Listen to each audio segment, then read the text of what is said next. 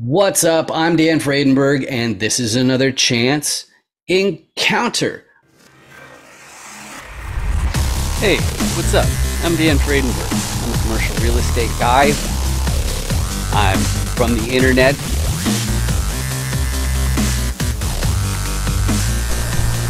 We're seeing uh, we're seeing more properties like this being built in front of a house going to be torn down soon. I understand that there are power lines that are just kind of close. What's up again? This is Dan Fradenburgh, and that there is a commercial real estate building.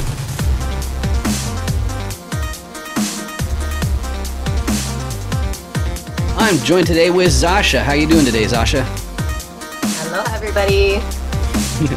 awesome. I'm really glad you're here, but I got to admit, I'm even happier that my very favorite audience member has joined me today. And why is my very favorite audience member here today, Zasha? Is because this is a chance encounter where I interview commercial real estate, syndicators, investors, buyers, sellers, all those types of people. And why do I do that? Well, part of it is for compliance, but really, you need to know the other mm-hmm. people who are in the industry. Where's the overlap? Is there a chance for us to do business? And it's super duper important because if we want to share our private deals with each other, we have to have a substantive relationship. But before we get too excited with that stuff, is Zasha, do you want to uh, introduce yourself a bit for the audience?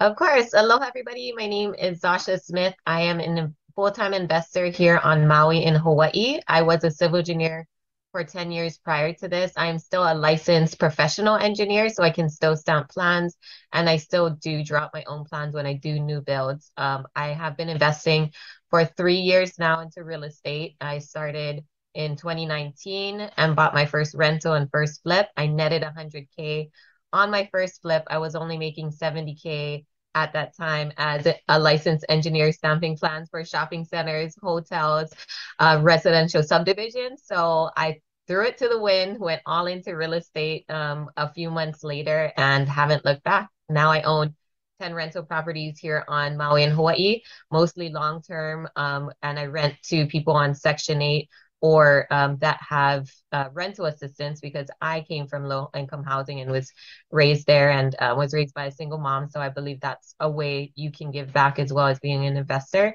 And I have one short term um, Airbnb. However, the regulations are super strict here and um, they're getting, you know, they're really cracking down. So now I started shifting into investing into syndications and larger projects because um, one i'm still flipping to this day so i need the depreciation for my active income but two i haven't been able to find any um, real good deals here since it is so expensive that now i'm kind of shifting my focus to um, bigger syndications for write-offs Beautiful, beautiful. My next thing for you, though, it's a little bit unusual. If I go like this one, though, then there it is. But wait, check your eight. Uh, if you check in your eight, maybe just below your camera, over, over here, it's look for the audience is down here. There might be this big. Can you see if there's a big ugly red subscribe button? Because they really should have the gray subscribe button. I, I and uh, anyway, jokes aside, I go through the five distinct motivations first when I go through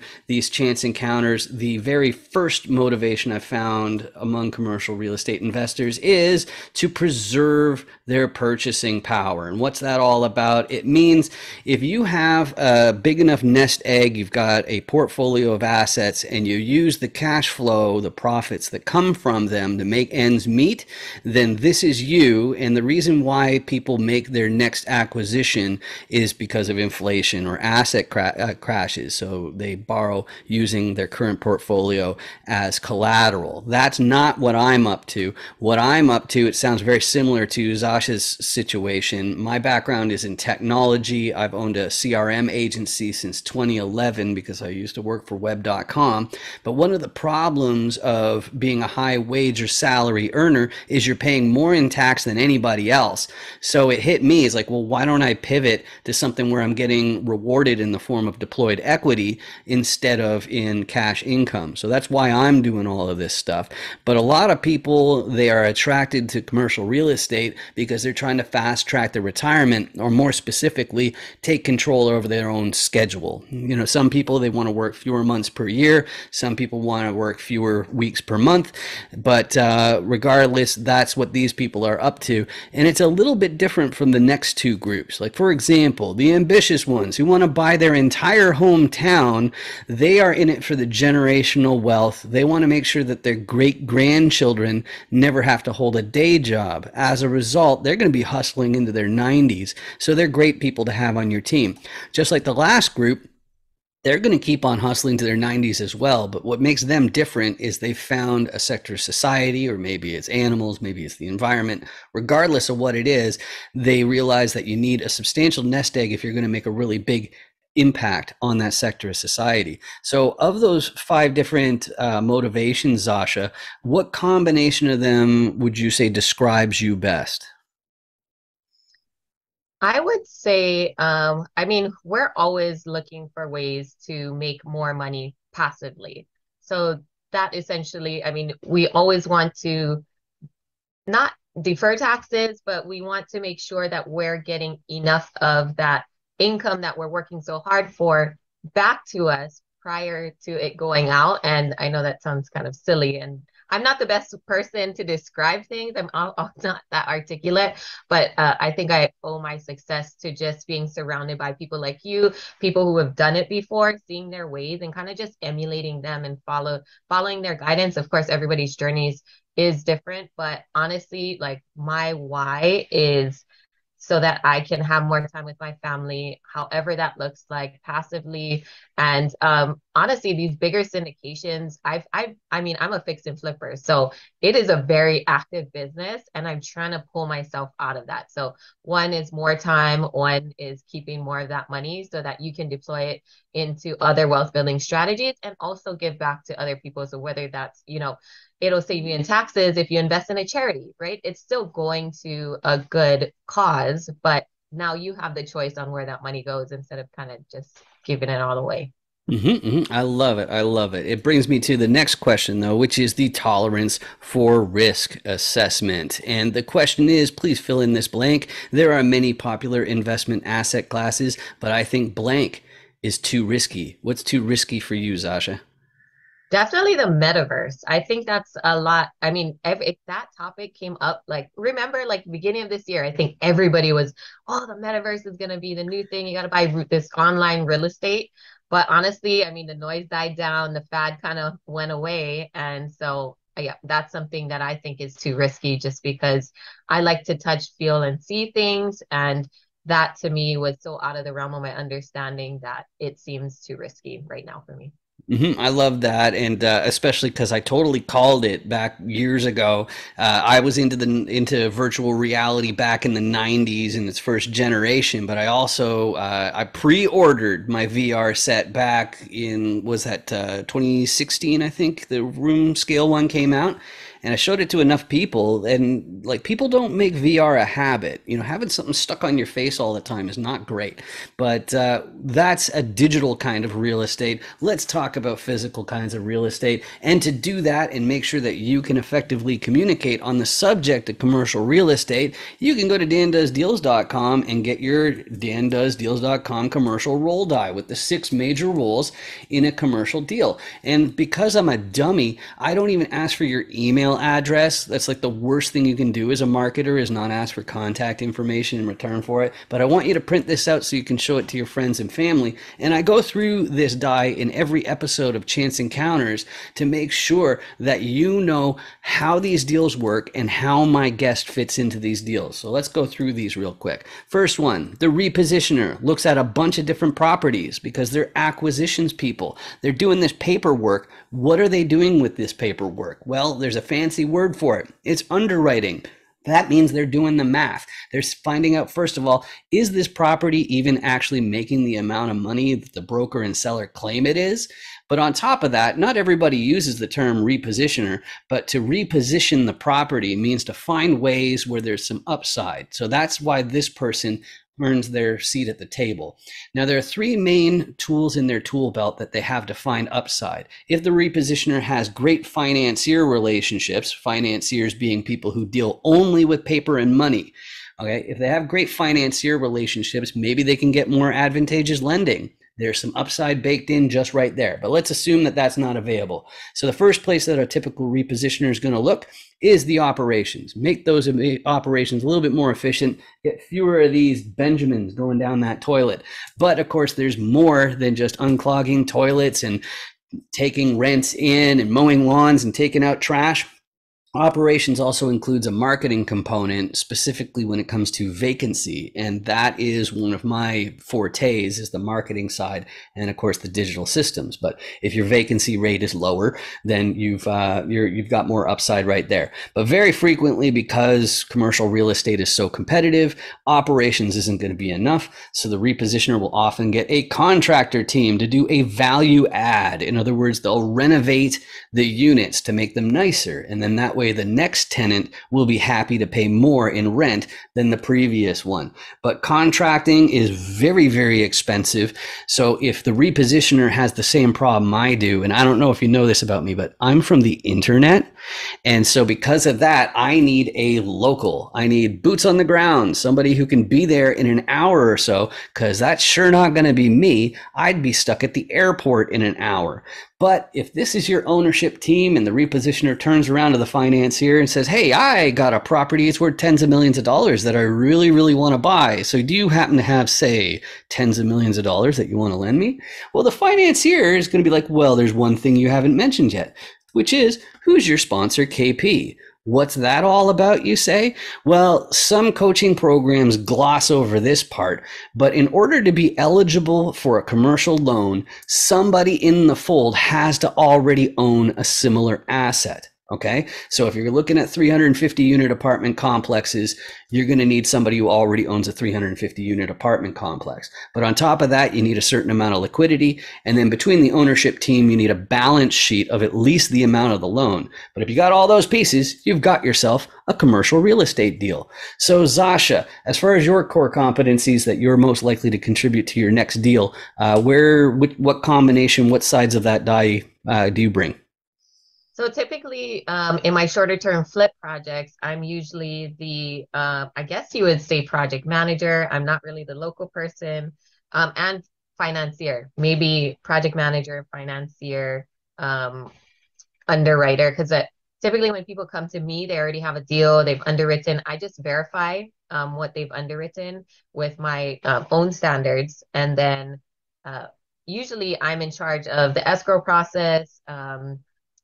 Finding the financing or qualifying, right? So I have the kind of net worth in order to qualify for different types of loans, or I've signed on loans before that um, will help us qualify. And then I'm able to raise either private money or um, help to bring on limited partners to syndications to also raise the capital. So that's where I'm finding my kind of niche. But and then since I already was a civil engineer for 10 years, I already have experience dealing with contractors and projects that I know kind of the sequence of it. So I can oversee that portion as well. Mm-hmm. Beautiful, beautiful. So let's talk about the ideal property then. And when commercial syndicators are talking to each other about a buy box or an ideal property, they're really talking about three things. The first one is geography. Which states, which counties, possibly even which neighborhood. That's going to matter. The second thing is going to be the size. Now, we're talking about multifamily here, so unit count is what they end up using. And the idea is that if somebody's going after a 15 unit property, they're probably not going for a 500 unit property at the same time. It's just too different. So the size is going to matter. If it's other forms of commercial real estate like uh, industrial, it'll be square footage. But the third one, it uses one one word for two different things, which is something I kind of hate, and the word is class. The first definition of the mean of uh, the word class means the condition of the building. So is it old? Is it beat up? Is it up to date? Is it lavish? Okay, that's one meaning of class. Now, the second meaning of class has to do with where the property is located. And so that'll be like, how are the schools in that area? What's the crime rate like in that area? And both of those meanings of class are rated with the same system as grade school. So it's like A plus, A minus, B plus, C, and so on. So, uh, Zasha, as far as deals that are easier to say yes to and more difficult to say no to, what should what should somebody bring you? Definitely something that's located in one of the warmer states, I would say, that is very active or like emerging cities in around those. Um, so something in like Austin, Texas, or Houston, um, San Antonio, um, and then Florida as well. So um, there's parts of Florida. Ocala is like where we've been kind of targeting. Um, and uh, the size probably you know it depends if you want to jv so there's two there's different ways to go about commercial real estate right? You could just jv depending on um, if it's a seller finance deal and you only need so much money but you need somebody with experience as well um, there's opportunities just to have like a few partners. So that is all dependent on um, the size, but you know, anywhere from 50 to 100 units is something that I'm looking for. And then also a 10% um, cash and cash return or like a 10% cap rate. But I know there's so much different ways to get creative. So um, I don't like to be too kind of niche down on those numbers. It all depends on how much money we got to bring to the deal as well, and then what it's performing at. Because if something that has to be stabilized, you have to put in all this work versus something that's already kind of stabilized, but you can make little tweaks you know, as far as like raising the rents to help with the numbers or something like that, that's simple. I mean, I'm open to easier deals like that as well that don't need to be so much value add. And then you talked about um, neighborhoods. So around a B class would be, you know, ideal. Um, it's not, you know, A or C. You're kind of right in the middle, lingering right there. Um, but yeah, that that would be my kind of like buy box. Okay, beautiful. And then as far as people go, uh, I always like to point out to the audience that uh, my favorite part of commercial real estate is because you've got these multiple lanes, people are so helpful and eager to give referrals because everybody's building all these different teams. But even though that's the case, we've all got our own unique skill sets. So we're going to be disproportionately well suited to helping some sides of the die than others.